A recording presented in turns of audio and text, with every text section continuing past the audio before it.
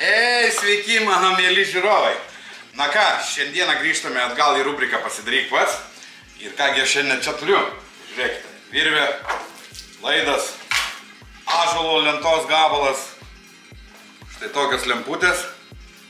Nagi, nagi, padaryk dabar ant pauzės ir būtinai pakomentuok, kągi mes šiandien gaminsime. Mm? Tai va, na turbūt tu teisus ir mes šiandieną gaminsime šviestuvą.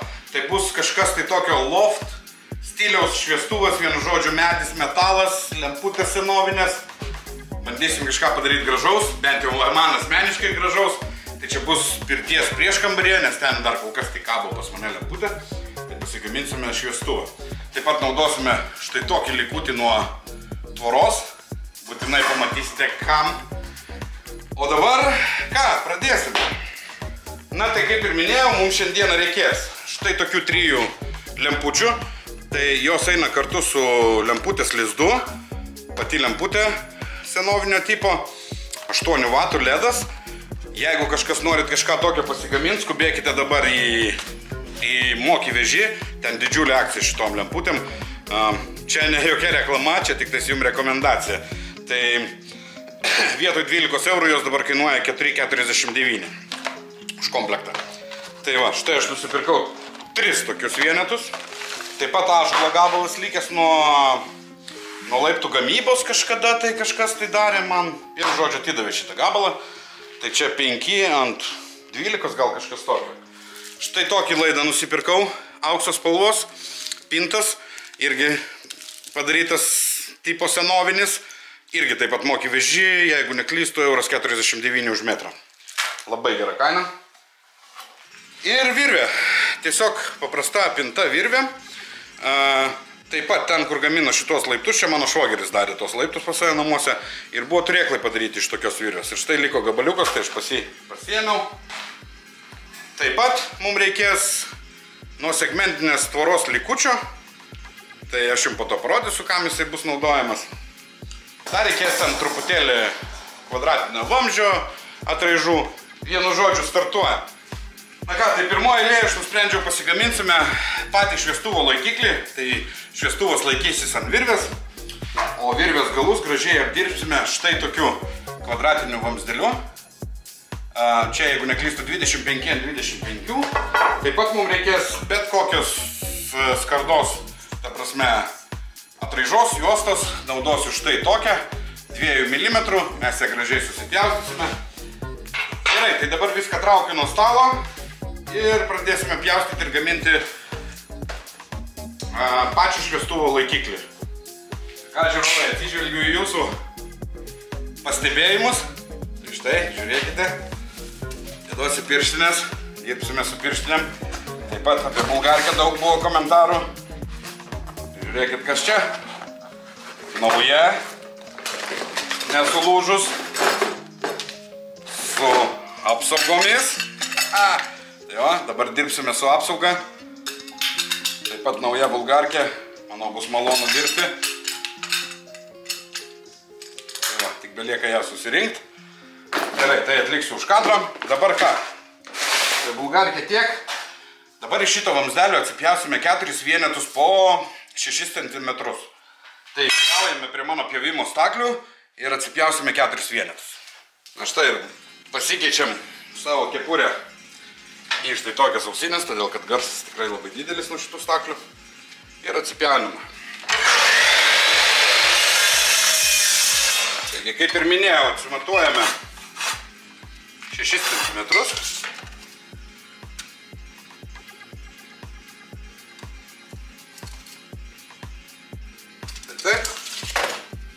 Ir atsipjauname 4 vienetus.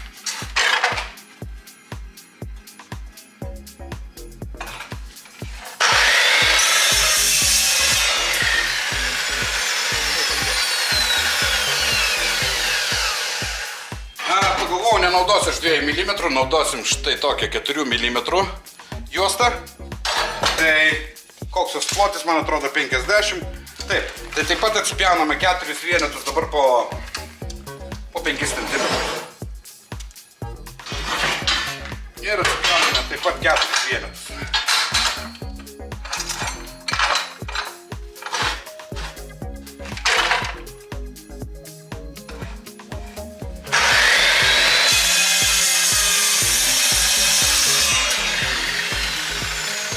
Štai susipjovėme po keturis vienetus. Tai ką mes dabar padarysime, tai naudosime šlifavimo diską ir jos truputį gražiai apvalysime iš visų kampų. Ta ir padarome.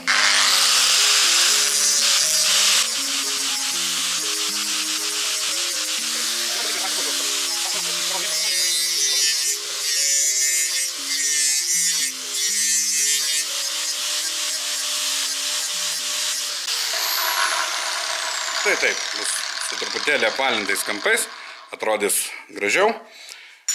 Ir štai tokiu būdu mes juos privyrinsime. Na štai ir apsidirbame visus. Štai tokie gavosi. Tai ką mes dabar pasidarysime, tai pažymėsime po centimetrą, kur grešime skylės. Kad vėliau mes galėtume prisisukti. Žymimės 10 mm. Štai taip, pasižymėsime tik du, nes grešimės po du per kartą.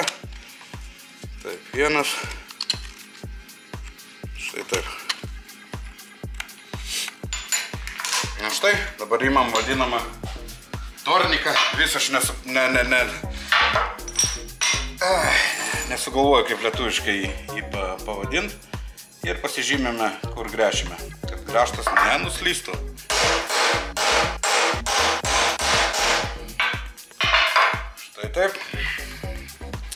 Ką dar mums reikia pasidaryti, tai pasižymėti centrus. Todėl, kad mums reikės ir centruose skelių. Tai imame tiesiog kažką tiesaus. Ir nuo skilutės iki skilutės brežiame iksiuką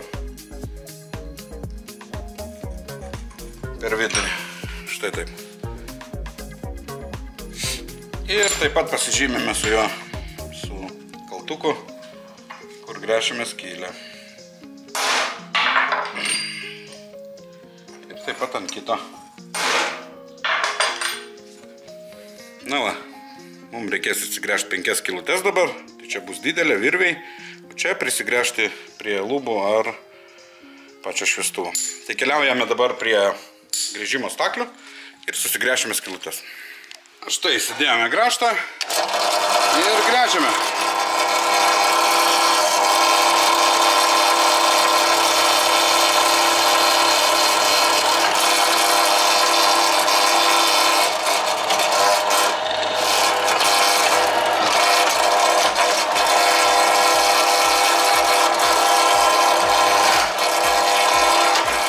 Ir su mažu grįžteliu prasigrėžiam visas keturias plokšteles.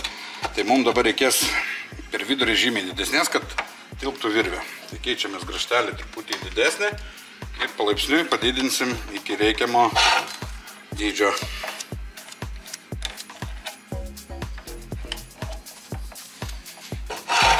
Taip, truputėlį galbūt tepaliuko užpurškiam.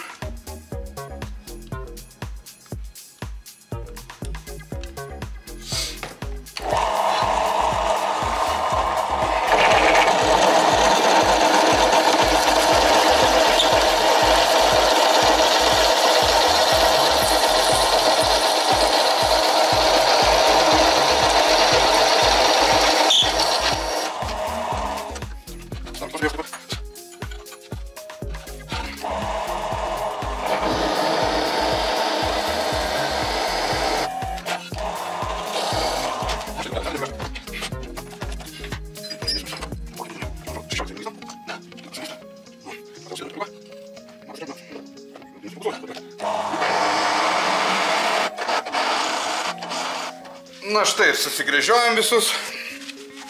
Tai truputėlį nuvalysime dabar nuo drožlių, nuo tepaliuko.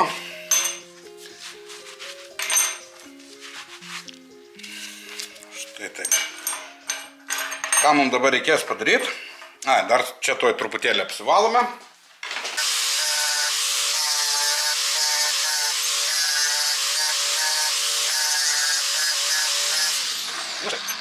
Sekantis, sekantis, sekantis. Tai dabar mes turėsime prisivirinti tuos vamzdelius. Štai tokiu būdu per vidurį. Tai tą ir padarome. Na ką, ir viriname, tai bandysime prisitvirtinti kuo tiesiau. Tai naudosiu štai tokį užspaustuką.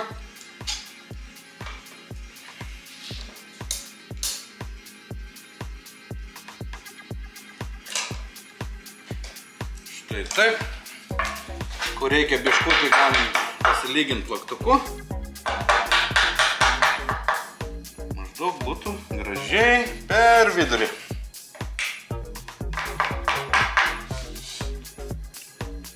Darysiu iš akies. Manau, bus gerai. Na ir dabar apsiviriname viską ratu, kad gražesnis virinimas būtų. Pačią pradžią pravirinu ant bet kokio metalo. Ir tada žymiai gražiau virinasi. Nešauda. Taip. Ir dabar viriname čia.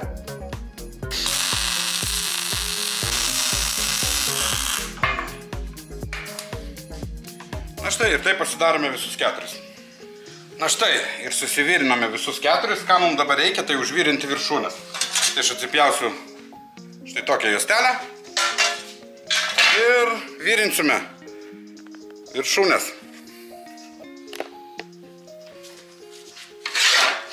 Nauja, žiūrėkit, su apsauga viskas. Žiūrim, kaip veikia.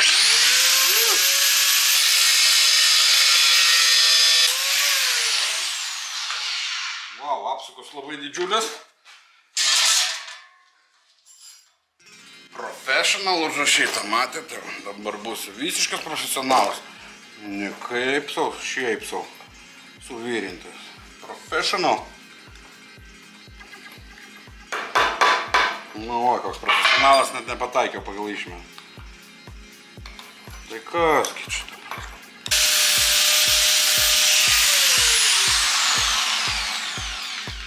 Na. O, dabar gerai. Taigi dabar apsivirinam. Tai kaip ir praeitose videose kažkada jums rodžiau, kaip darau. Tai prisivirinu prie pradžioje čia, prisikabinu ir tada atsipjaunu kiek reikia.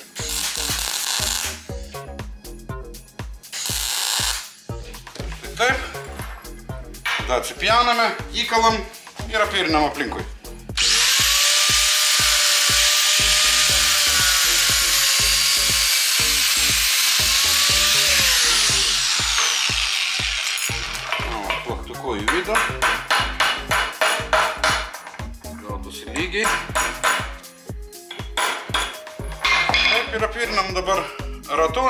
Padarysime visus keturis.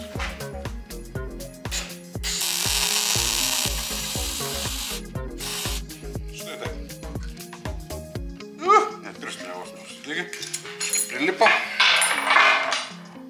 Žiūrėkit, raudonas dar visas.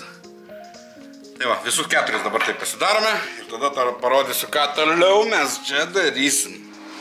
Na štai, truputėlį atvėso, apsivirino mes juos visus. Tai dabar apsišveisime virinimo siūlės viršutinės.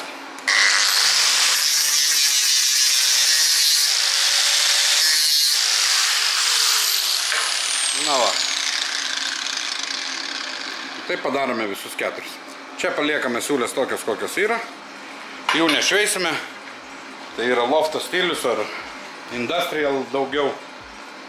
Industry ar kaip čia pasakyti. Tai paliksime taip. Gerai, tai padarau dabar už kadro visus keturis. Ir važiuosime toliau. Na štai ir apsišvietėm juos visus keturis.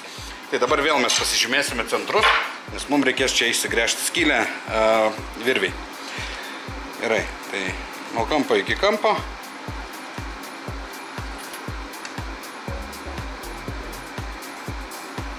Štai taip. Ir visus keturis pasižymime.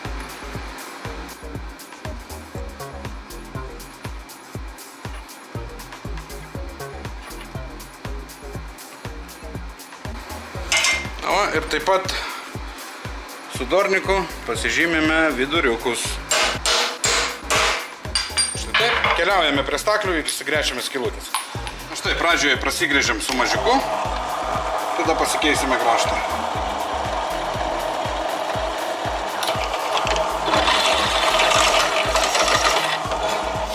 Na štai, pasidarėme visus keturis laikiklius. Tai dabar mes ką galim pasidaryti, tai įsiverti virvę. Ne įsiverti, o tiksliau pasižiūrėti, kaip mes įversime. Tai kol kas nieko nepjaunu. Mintis yra viena galvoje, tai pabandysime mes ją, kaip jinai mums suveiks. Tai ką mes turime padaryti dabar, tai apie 5 cm apviniojame izolaciją. Turiu tik tais tokią, kitos neradau, kažkur buvau nusipirkęs, bet tiks ir tokia. Jo, taip, du sluoksnius. Apviniojame. Ir prasikišam. Štai taip, tokiu būdu. Aš per daug čia jau. Taip, atsipjaunam biškinis. Ilgą. Išlenda kitoje pusėje. Čia va už kadro prasigrėžiau skilutę keurai. Štai tokią. Dėl ko to aš parodysiu. Tai veriame virvę, kad izolacija jau būtų viduje. Tada su krašteliu bandome prasigręžti pro virvę keurai.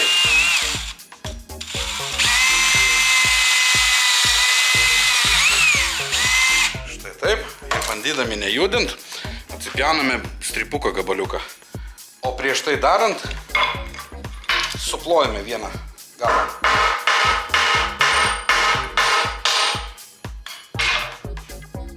Štai taip. Pasimatuojam, kokio mums gabaliuko reikia čia. O, maždaug čia. Tai paimam ir atsipjauname dabar.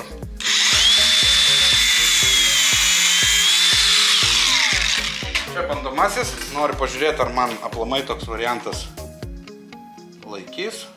Kur mes čia grėžiam? Čia.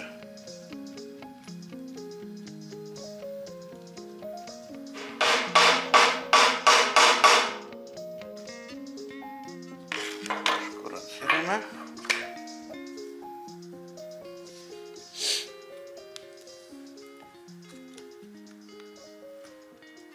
Štai, štai taip. Čia irgi taip pat užplaksime. Nors, jeigu norint palikti, kad galėtų ilgis reguliuotis, tai pakeisti virvę, galim ir neplakti. Vis tiek čia niekas nieko netraukinės. Pažiūrim, kaip laikosi. Oi, manau, čia netgi ir mano svorį išlaikytų. Štai toks bus mūsų tvirtinimas. Paprastas. Tuo pačiu ir labai geras. Tai viskas, su tuo išsiaiškinom. Dabar nešam šitas detalės, pasidarom tokius va, e, kištukus keturis. Ir nešam šitas detalės nusidažysim. Ir tada parodysiu, ką toliau darysime. Va, jie jau ir kabo, tai užsipiliu truputėlį white spirito. Ir nuriebalinam iš visų gerai pusių. Mes naudojam grėžimui tepalo. Tai gali po to mum nelipti. Taip, visus gražiai nusivalome. Štai taip. Ir dabar juos nugruntuosim. Aš tai tam naudosiu štai tokį juodą gruntą. O po to nudažysim matiniais dažais juodais. Ir gruntuojam. Visur gerai papurškiam.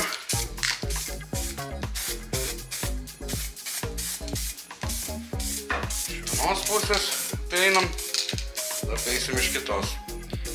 Na ką, o kol mūsų gruntas džiūna, tai mes pasigaminsime kampučių gaubtelius.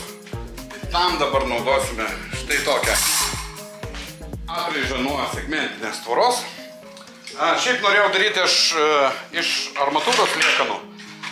Bet eidamas pro šalį pamačiau štai šitą ir pagalvojau, kad labai gerai žiūrėsis. Tai mums dabar reikės atsipjauti daug iš tikro vienetų. A, Tuoj parodysiu kokias figūras. Tai pjauname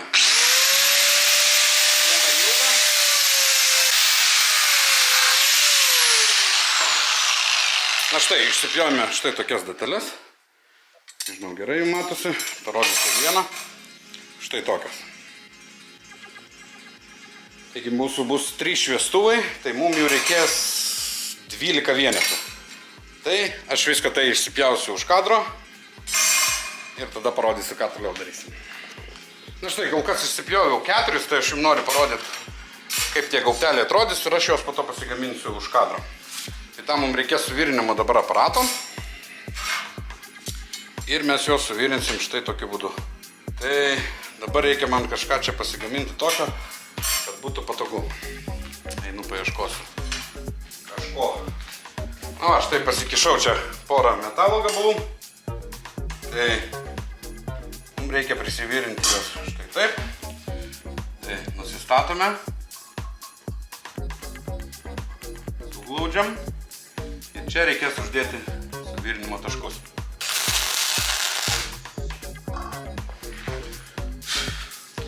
Taip, vieną pusę pavyko. Taip pat pasidarom antrą.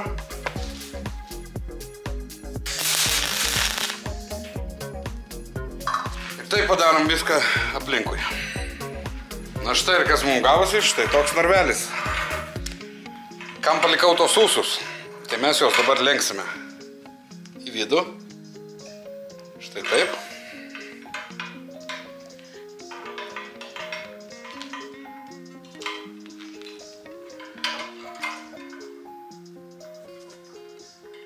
Štai taip. Juos dabar apsipjauname, kad vienas kitam netrukdytų.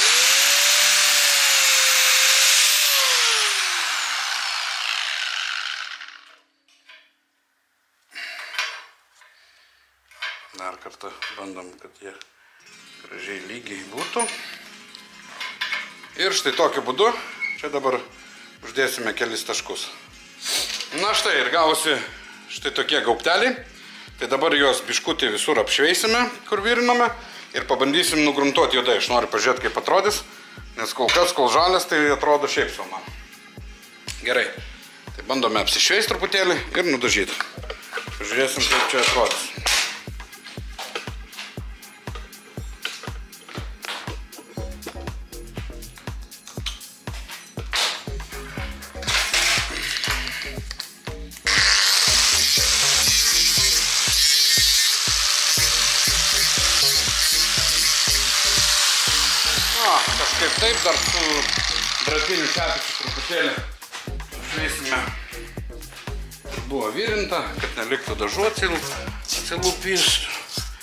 Atsilupusių. Štai taip, viską gerai pratrinam.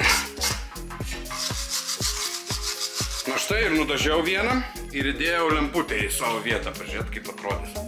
Na, kaip jūs manote, gerai bus? Aš tai manau labai netgi gerai. Man patinka. Tai ką, aš einu pagaminsiu dar du tokius ir toliau gaminsime patį laikiklį, ant ko kabės lempos. Taip pat pakeisime laidą į auksinį.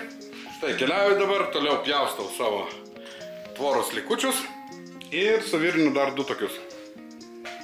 Na, iš toliau biškutį. Na, gražu, man gražu. Na štai ir pagaminau jau visus tris. Tai juos nudažiau. Tai kol jie džiūna, mes keliaujame prie stalo ir pasigaminsime medinę dalį. Na štai turim lentą. Tai mūsų šviestuvas bus 80 cm ilgio. Tai žymimės 80 pirmoji eilė ir atsipjauname.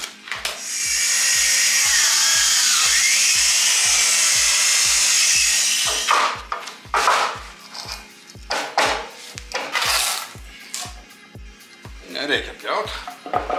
Štai taip. Nu ką, dar liks vienam šviestuvui medžiagos. Labai gerai. Gerai, tai kas toliau? Toliau mano mėgiamas dalykas, kai aš visą laiką mėgstu. Tai medį mes paruošime kaip? Apdegindami. Ir tokiu būdu viską apdeginsim iki juodumo.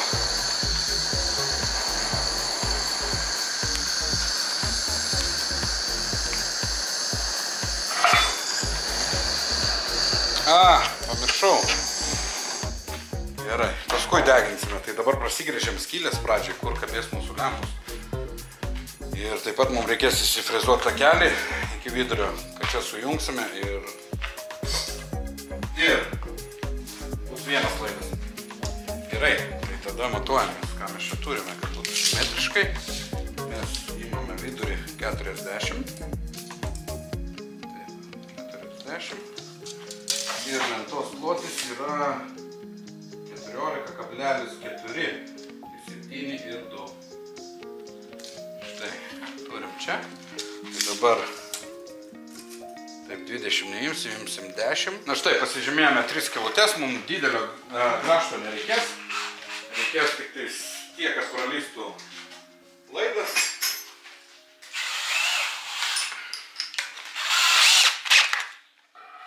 Taip, čia bus gerai. Ir grėžiamės.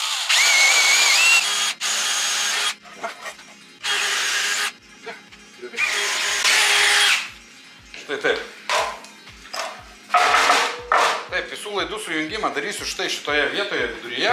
Tai aš dabar pasiimsiu frezą ir išfrezuosim takelius, kad nesimatytų po to laidų. Štai turiu čia tokią frezą. Taip.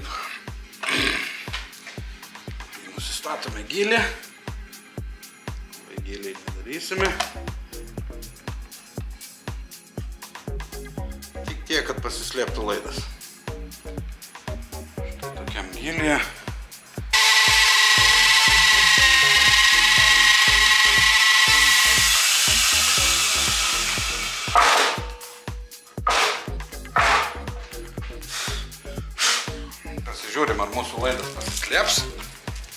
Taip, puikiai. Tai va, užtenka mums to. Ah, dulkių. Gerai, pakratom viską, iškratom ir galim dabar deginti.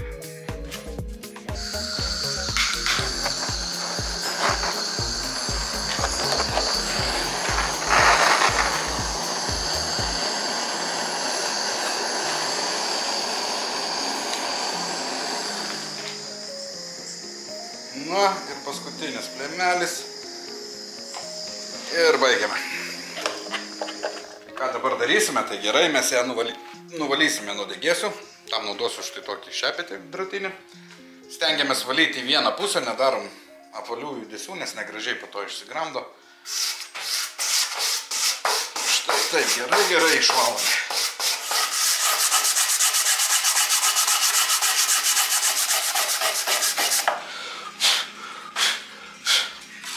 Tokia lenta gavosi, pažiūrėkite į raštą. Kaip gražiai viskas. Tikrai raštas išriškėjo. Super atrodo. Na ką, bandysime surinkinėti. Dabar atsipjauname du vienodus gabaliukus virvės. Tai a, galim padaryti iš karto, kad mums neišsiviniotų jinai. Taip, siviniuojame izolaciją. Ta vietoje, kurioje pjausim.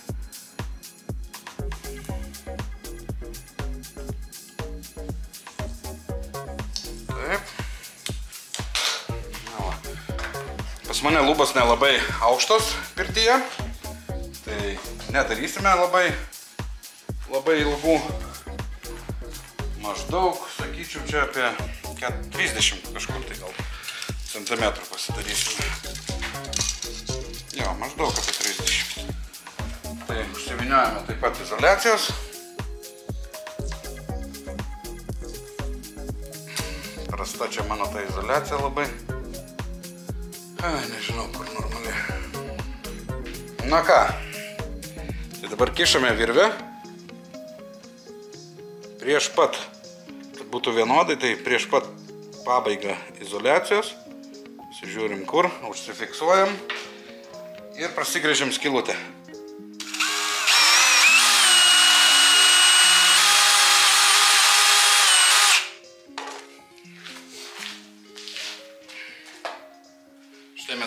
Mes kur prieš tai pasidarėme tokius kištukus, dabar juos prakišime pro virvę.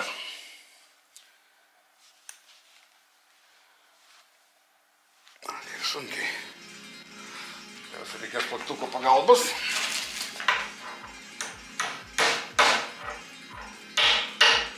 Kaip tokio. Štai laikysis. Kaip turi būti.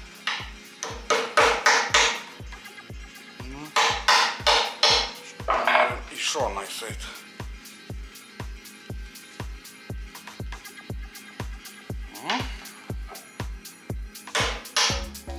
Na, va. prasikišo. Štai taip, užsifiksavo labai gerai. Čia nežiūrėkit, kad dažai biškiai apsibrodino, mes juos padažysim paskui. Žiūrim, kad maždaug vienodai izolacijos būtų, kad po to nekreivėtų mūsų, nekreivėtų, nekabėtų mūsų šviestuvas kreivai. Taigi kišome kitą pusę, vėl žiūrime, kur ten izolacija pasibaigė. Na ką, virves sumontavau, tai jas apklijavau ir nunešiau apdažyti. Tai dabar čia prie tų lempų, kurias pirkau su laikikliais, kurium rodžiau prieš tai, buvo tai tokie gaukeliai. Tai mes juos dabar ir panaudosime. Tai taip. Čia dedame per vidurį ir prisukame. To praversime laidą. Aš dabar galvoju, ar iš karto gal reikėjo praversti laidą. Štai taip. Ir antrą pusę taip pat. Užsidengs. Bus labai, labai gražu. Bent jau man. Gerai. A, tai pasidarome visus tris dabar. Iški jos praskaičiu. Na štai, prisisukome visus tris, tai ką dabar padarysim, tai iš juodo laido pakeisim į štai tokį gražų. Tokios bronzinės spalvos.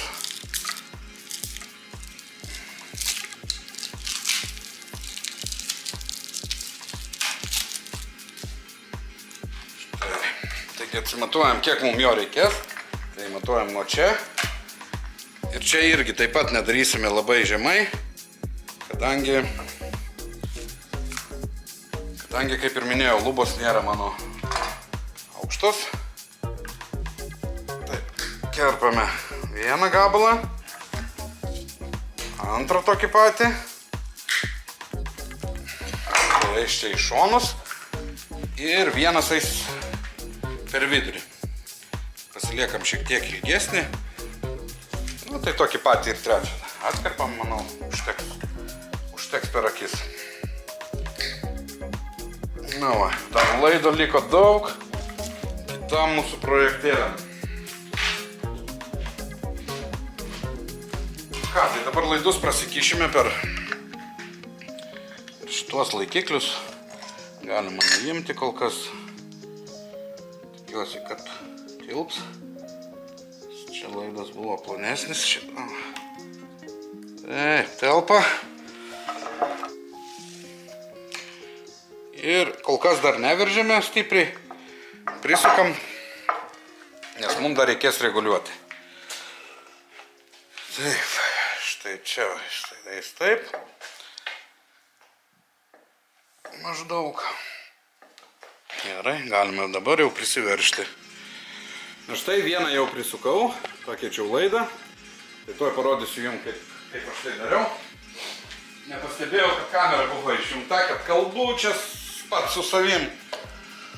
Vienu žodžiu, gerai. Tai čia mūsų rėmelis. Taip, atsikerpame čia izoliuotą galą. Taigi tą juodą laidą mes metame lauk, nu kaip metame, mes kažkada jį tai panaudosim. Aš šiaip savo nemėtau tokių dalykų. Jie mums pravers dar ateityje. Išsiardom būtės lizdą.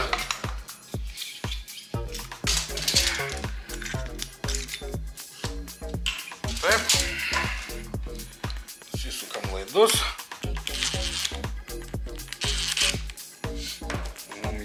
Kas dabar nebereikės. E, toliau. Toliau mauname pirmą keburėlę. Taip, tada štai šitą dalį. Nežinau, ar jūs gerai čia matot, tuoj palauk, gal pakeisiu kampą iš kitos pusės.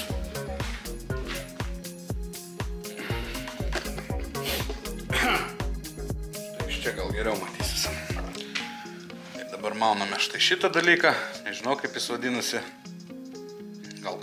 Laido stabdiklis, reguliatorius. Štai taip. O, jį užmovėme. Dabar ką darome, tai prasikišam laidą pro savo narvelį ir mums jisai nebemašys.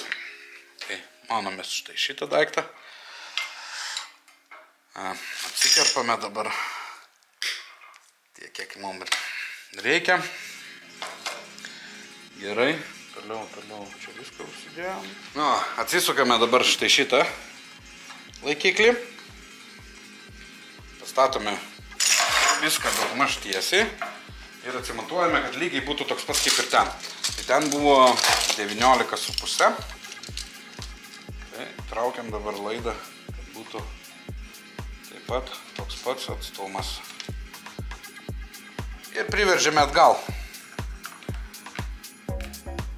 Štai tokiu būdu mūsų visos lempos kabės viename lygyje.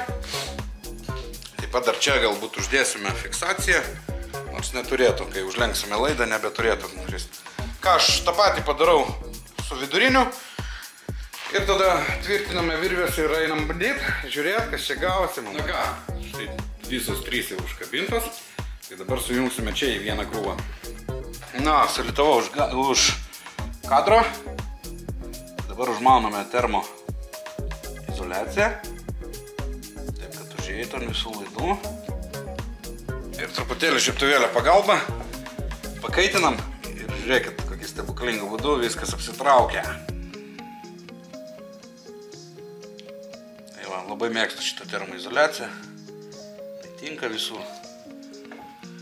Gaunasi tvarkingai viskas.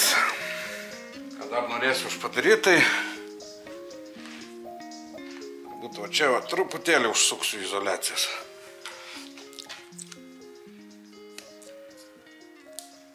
Kad nebūtų taip viskas palaida. Taip, taip pat čia pasižiūrim, ką čia mes turim, pinam. Mūsų laidas būtų gražus, supintas. Taip.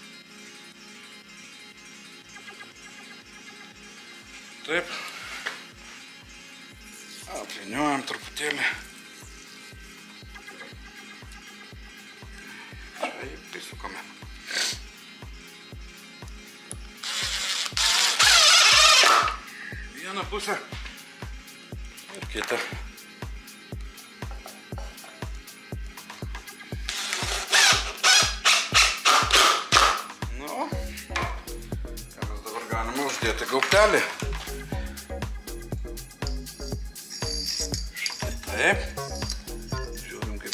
uždengs viską gražiai.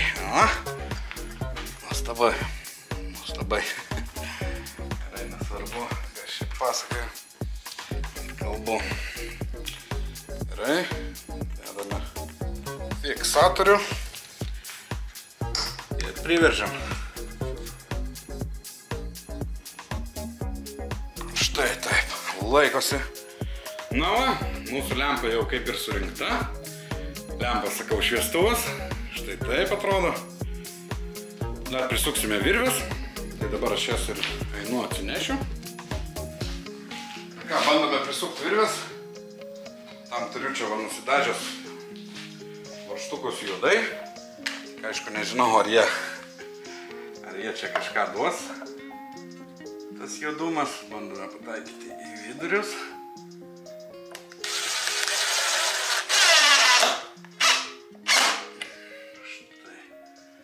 Vienas. Bandom nusistatyti lygiai. Štai taip. Ir sukome likusius varštelius taip pat padarome kitą pusę.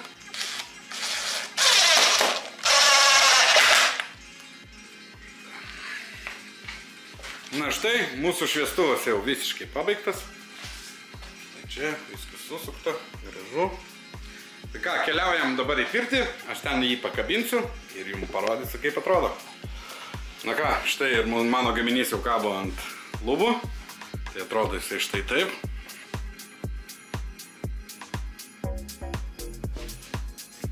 Prašau, būtinai įvertinkit, pa- pakomentuokit nuo 1 iki 10, kaip vertinat mano tokį šviestuvą. Tai va, šitą šviestuvą pavadinau kirvarpa, todėl kad yra kai kur pakriaušta kirminų medis. Tai jo pavadinimas bus kirvarpa. Ką dar uždegu, jums parodau, kaip jisai dega.